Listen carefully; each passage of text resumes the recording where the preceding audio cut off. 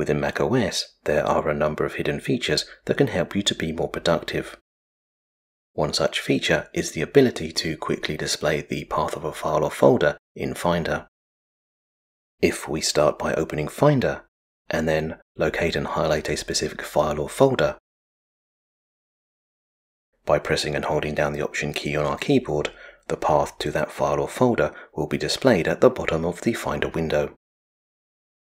While this is a great feature for anyone who likes an uncluttered user interface, if you prefer, you can make Finder always display the file path at the bottom of the Finder window.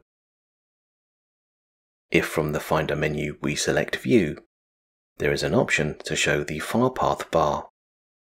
By selecting this option, the file path will now be permanently displayed at the bottom of our Finder window.